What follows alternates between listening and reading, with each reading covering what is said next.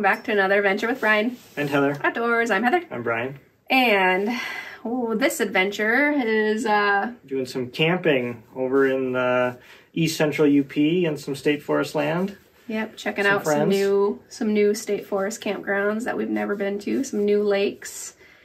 Um yeah, it was my 40th birthday. Hmm. so naturally I wanted to go camping with friends and that's exactly what we did.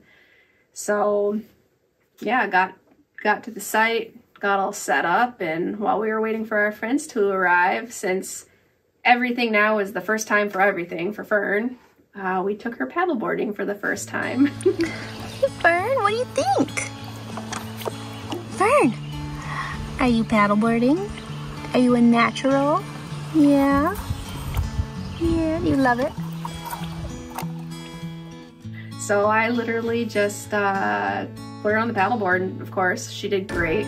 She loved being on the paddleboard. She loves water just in general, which is really awesome. But yeah, I just floated for a long time. It was really nice. It's really peaceful. Uh, the nice part about these state forest lakes and campgrounds, um, not many people go to them. Well, and they're first come, first serve. So if you're planning a trip from really far away and you need to guarantee yourself a site, that isn't a good idea. Yeah. Yeah. But if you're willing to take kind of whatever is available, may not be a great site, then some of these first come, first serve state forest campgrounds are a decent option.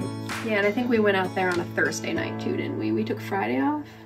I think we took Friday off, so yeah, so better chance of better finding a site. chances on a Thursday night. But even the campsite wasn't even, or the campground wasn't full all weekend. It was really quiet. So um, we're intentionally not naming exactly where we were because of that reason. We want to try to respect and, and keep it that way. But it's not difficult to get out a map and, and look at your state forest campground options either. So um, for those of you who come at me for gatekeeping.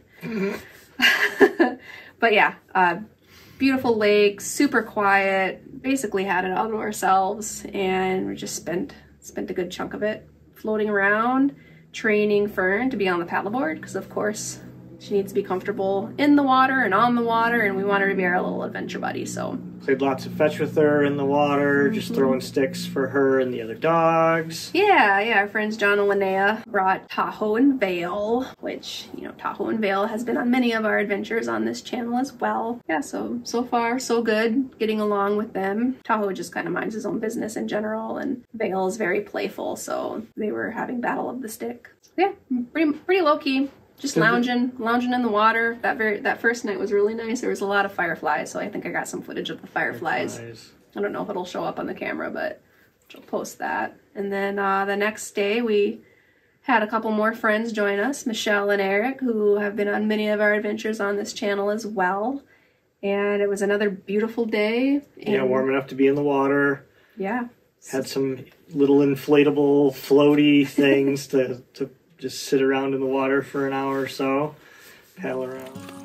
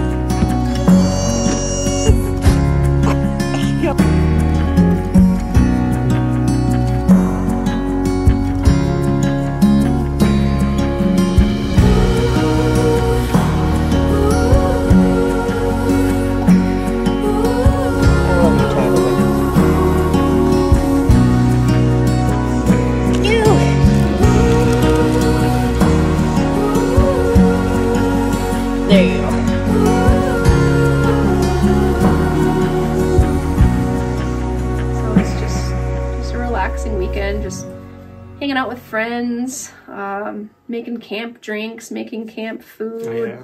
floating in the water, enjoying the sun, all the great Hiding from the bugs. Hiding they were the pretty bugs. bad, actually.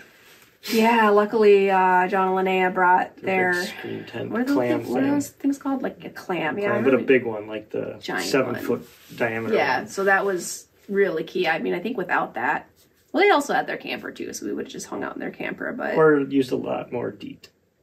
yeah, a lot of DEET. DEET does work. So, but basically, it not not anything too exciting, but just well, there was a little excitement what on happened. that on that second night. oh yeah, We were sleeping, you know, eh, sleeping in the tent, and I hear this weird noise not far from us, you know, like you know, fifty feet away, and I'm like, "What is that?" And then I hear it again, and it sounds like you know metal bashing together, and I was like, "What in the?" And then I started to put the piece together. I bet it's a bear. So I you saw it though, didn't you? well, yeah. So I, Yeah. I, I realized I'm, I bet this is a bear, and I carefully, you know, have Heather hold Fern so she doesn't escape out and cause a problem and get away in the pitch black. But I unzip the tent, stick my head out, and there's this bear wrestling the garbage cans, like just you know, 50 feet away, Yeah. looking at me. And then the you know my protective instincts came out, and I screamed at the bear, You go away, bear. get out of here, bear. you know, only really everybody up. only super angry and loud. And uh, the bear kind of like did one of these for a second, and then I blinded it with my flashlight, and then it everyone else started yelling, and it ran away. But Did not get footage of that because I was protecting Fern, but uh, but I don't I don't really like garbage bears at camp. You just you know these you know, big animal like that. I don't. I mean, they generally black bears run away if you act big and tough and scary, which is what we did. But you know, I, I feel like the did bears you that say get black bear? black bears. Yeah. Yeah, black bears. I wouldn't. Grizzly bears are a different story. We don't have those around here. I don't. I don't want to mess What with is one it? of those. What's the saying? If it's black, fight back. If it's brown, lay down. I, I don't know. If, I think that's how it goes. Maybe, but black so bear, remember that. You just make Camping yourself look big, be loud, and black bears will generally run away. Yeah. But if they're, you know, they're an apex predator and they, you know, they become conditioned to be with people and garbage and stuff. You just, I just don't trust them. So I, I really gave it all I had to scare that bear away, and it, luckily it worked. Yeah, didn't come back the next night. No, but didn't come back the next night. be prepared at the state forest campgrounds. There will be bears if there are garbage. yeah, Not all, not every state campground has like dedicated garbage facilities. A lot of it is pack in, pack out. pack in, pack out. Yeah, or But- like just some metal garbage cans in like a little wooden frame corral with some chains around it, just so the bears Mm-hmm. Yeah. can't completely carry it away. But they.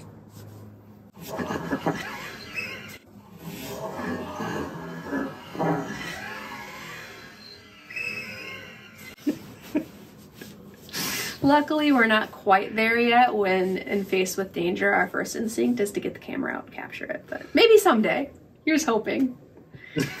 All right. Anything else? Nope, good food. Beautiful lake. Linnea brought uh, candles, and Michelle brought me birthday cake, uh, little Debbie's, big Deborah's, stick candle. This is apparently every year I get a stick candle as well, and yeah, my friends take good care of me. Okay, I think it's lit. It's not. it is. It's lit. Okay, ready? Happy birthday! So it was a perfect, perfect birthday, perfect way to uh, ring in my. Would this be my fourth decade? starting your fifth decade. Yeah. No, it's starting my fourth decade. Zero to I ten. was 40, 0 to 10, 10 to 10 to 20, 20 to 30. 30 to 40. Oh, crap. Yeah, fifth decade starting. yes. All right. Well, if you're new here, give us a subscribe. If you're not new here, welcome back. Thanks for coming along. Goodbye. Bye.